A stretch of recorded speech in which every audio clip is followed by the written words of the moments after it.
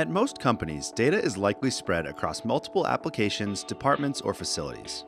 This data often relates to each other and, when unified, can radically transform your business. Traditional integrations often connect systems point to point. While point to point integrations are initially effective, they become quite time consuming as you add more and more systems to the environment. However, with InterSystems Iris, you can seamlessly integrate all of your systems with one unified platform. InterSystems Iris consumes data from multiple systems using what are known as business services. Tools such as the Record Mapper are provided to quickly generate a business service based on a sample file. Or you can code your own business service to consume data in just the way you need. These business services send data to what are known as business processes. Business processes do all the major work in your integration solution, such as message routing. For example, when a new message comes into a law enforcement system indicating that someone has just run a red light, the message may be both transferred to an application that will send the offender a ticket, as well as to another application that will keep a record of the offense. The business process can also apply data transformations, for example, if the ticket application simply needs to know the license plate and the location, but doesn't need to know the actual coordinates of the violation, the business process can send only the information it needs.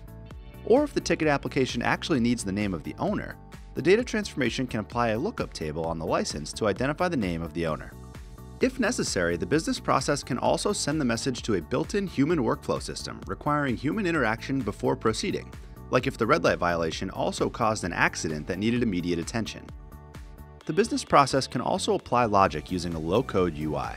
For example, if the vehicle violating the red light was an ambulance or a police car, these vehicles can be whitelisted so no violation would be recorded. Business analysts can use this low-code UI to easily update rules and logic without having to know how to actually write any code.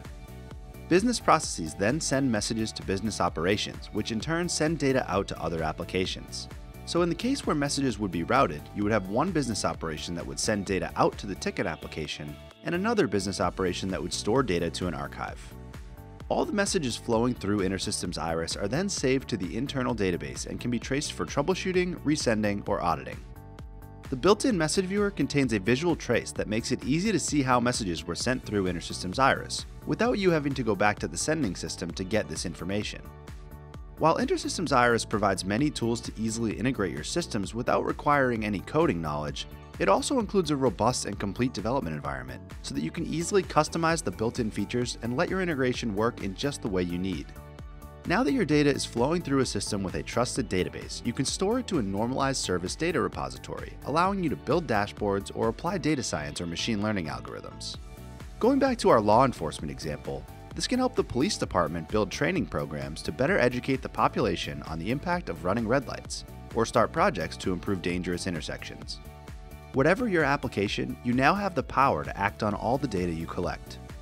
With InterSystems Iris, your separate systems can easily be unified using interoperability tools, allowing you to make decisions on all the data you collect, reduce duplication of data by sharing it between multiple systems, and help your people, processes, and applications work as efficiently and effectively as possible.